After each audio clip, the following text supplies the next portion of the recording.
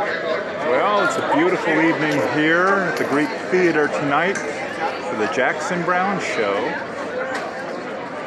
I'm here with Deborah. Say hello.